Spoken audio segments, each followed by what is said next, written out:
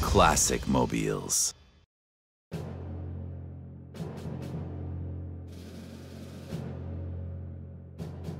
Kaiser Jeep Smith százados nyugalommal fürkészte a távoli dombokat. Sehol nem szóltak a fegyverek. Ellenséges csapat mozgást sem észlelt. Hiszen békeidő volt. Hogy zaklatott lelkéből regresszióval oltsa ki a borzalmas emlékeket, gyakran ellátogatott az elmúlt csaták színhelyére. Harcokban edzett régi bajtársa kísérte, aki még a legkilátástalanabb helyzetben sem hagyta cserben. Számíthatott rá.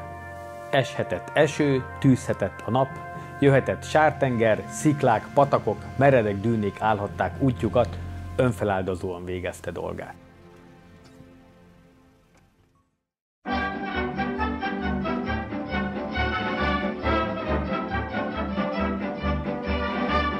Nincs amerikai háborús film Willis Duke nélkül. A második világháborúban az ős willis a vietnámiban ezt a második generációs típust használták. Amikor nyilvánvalóvá vált, hogy Amerika is beszáll a második világháborúnak nevezett politikai bizniszbe, a szenátusban tudták, most vetniük kell, ha aratni is akarnak. Fegyverkezni kellett, mivel az első világégés haditechnikáján már jócskán túllépett az idő. A lovakat javarészt már felváltották a gépek. Motorizálni kellett a hadsereget. Ezért 1940-ben tendert írtak ki egy könnyű fegyverzet nélküli kiszolgálójármű gyártására, ami terepen is remekel.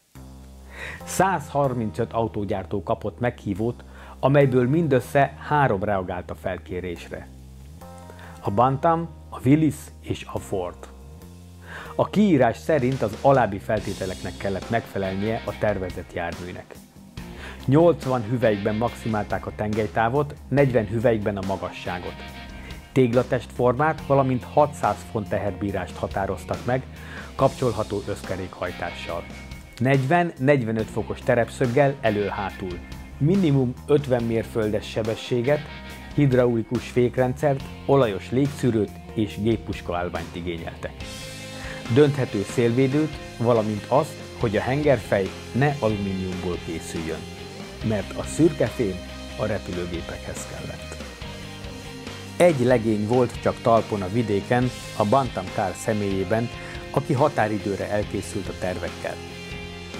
A hadsereg nyúzó próbáján azonban elbuktak a bantamok, kevés volt a nyomaték. A terveket a hadsereg akkor már továbbította a Fordnak, illetve a Willisnek, akik időt kértek. A szövevényes történet végén a Willis lett a befutó, legjobb, legolcsóbb árával, valamint erős motorjával. De mivel a megrendelt 350 ezres darabszám nem állt arányban a megadott idővel és a Willis gyártás kapacitásával, így a Ford is megkapta a megbízást. A Ford GPV-ben innen ered a V. A Willis pedig levédte a Jeep nevet. Ez az autó lett a Bantam alapokon nyugvó Willis, a Ford által is gyártva. Az offroad istenanyja háborúban született. A téglatest formát a katonai praktikum predestinálta. A legoptimálisabb helykihasználást ez a mértani alakzat adja a csomagolásnál. Ez lett a Jeep forma. A lehető legegyszerűbb síkokat csak a térbeli fordulatoknál határolják a legkisebb sugarú ívek. A nagy, törésmentes motortér fedél multifunkcionálissá vált a háborúban. Volt tábori oltára a lelkésznek, műtőasztala a frontsebésznek.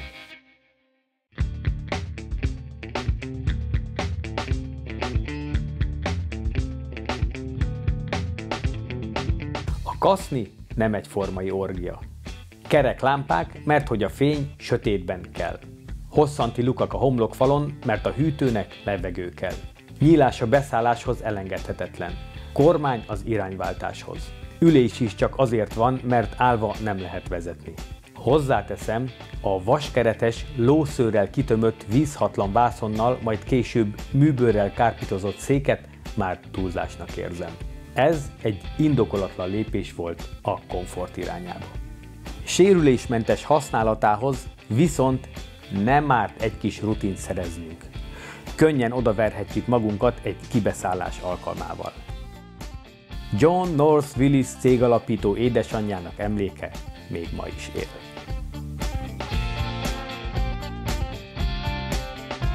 Műszer csak az, ami kell. A kapcsolókban sem veszünk el. Sebváltó, diffizár, felező. Hibátlan, közvetlen, tökéletesen üzemel. Asszinkron három fokozat, nem kell több a boldogsághoz. A motortérben egy négyhengeres, soros henger kiosztású 2199 köbcentiméteres löketérfogatú benzinüzemű motor dolgozott. 61 lóerős teljesítménnyel, 115 Nm-es nyomatékával megbízhatóan ketyegett.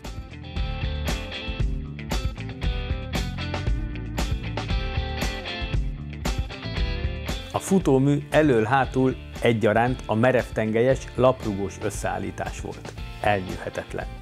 A lassulást hidraulikus dobfékek végezték, a 16 szolos acéltárcsákat fogták. Érdekesség a gumiabroncsok mintázata, aminek nyomaiból nem fejthető meg, hogy az autó melyik irányból érkezett, és merre tart, mivel szimmetrikus. Ezt a Kaiser Jeep M606A1 CE5-öst a US Air Force használta, de a svájci hadsereg is rendelt belőle. Egy igazi amerikai háborús hős lett. A hűség, a megbízhatóság, a kitartás militáns ikonja.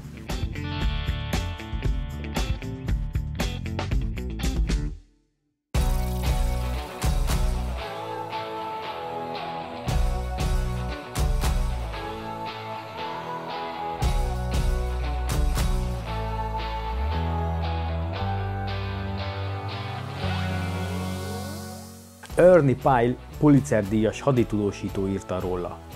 Mindent megtesz. Olyan hűséges, mint egy kutya, olyan erős, mint egy összvér, olyan agilis, mint egy kecske.